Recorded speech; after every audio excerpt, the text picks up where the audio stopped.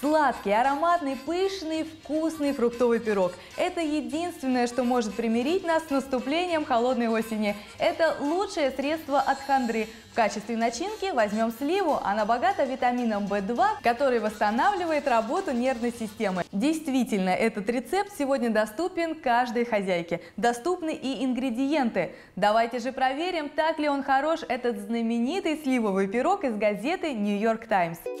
Так что же мы возьмем? 12 спелых слив, 3 четверти стакана пшеничной муки олейка высшего сорта, половину стакана хлопьев олейка, также 3 четверти стакана сахара, 100 граммов сливочного масла, 2 яйца, разрыхлитель, подсолнечное масло олейка, лимонный сок, корица и соль. Первое, что нам нужно сделать, так это взбить сливочное масло с сахаром до бела.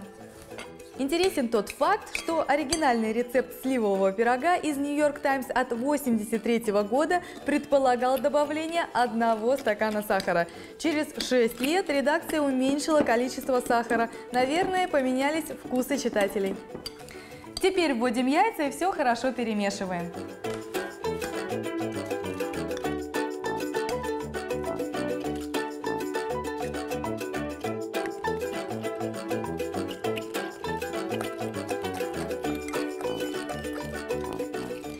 Теперь добавляем муку. От ее качества зависит пышность и аромат нашего пирога. Мы выбираем пшеничную муку высшего сорта олейка, отмеченную российским знаком качества. Этот знак – гарантия того, что перед вами действительно достойный качественный продукт, который выбирают многие и многие хозяйки. Добавляем разрыхлитель теста.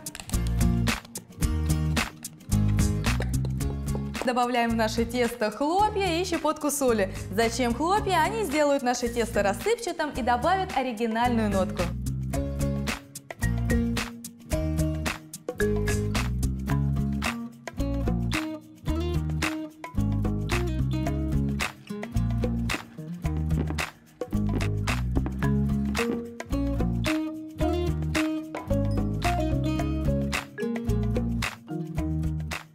Традиционный американский сливовый пирог выпекается в форме диаметром 25-30 сантиметров. Смазываем дно подсолнечным маслом, выкладываем тесто и пусть оно ждет начинку.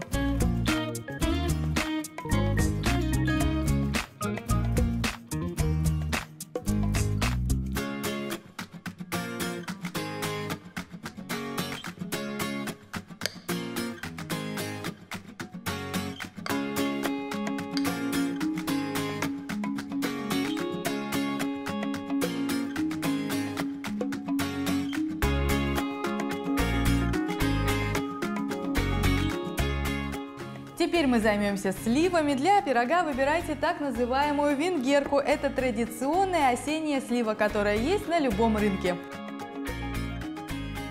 Сливы аккуратно разрезаем на половинки и удаляем косточку. Венгерка хороша тем, что имеет плотную мясистую часть, которая сохранит форму при выпекании.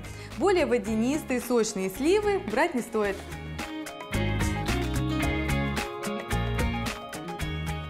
Напомню, что для пирога нужно именно 12 слив, не больше и не меньше. Теперь равномерно выкладываем половинки слив на наш пирог кожицей вниз.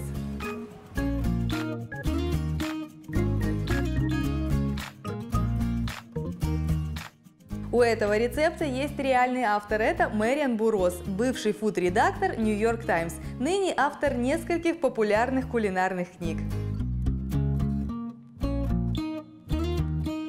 На финишной прямой нам остается только сбрызнуть пирог лимонным соком, присыпать корицей и сахаром. Количество последнего зависит от ваших вкусовых предпочтений.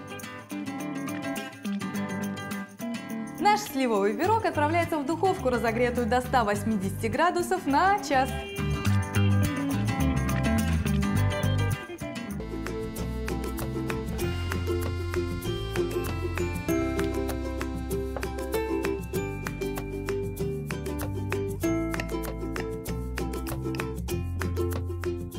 Да, глядя на это чудо, можно понять возмущение читателей. Пирог действительно хорош и очень ароматен. Кстати, редакция предлагает завернуть пирог в фольгу, поместить в пакет и убрать в морозильную камеру. Там он сможет жить в течение нескольких месяцев. Но мы так делать не будем, мы его съедим прямо сейчас.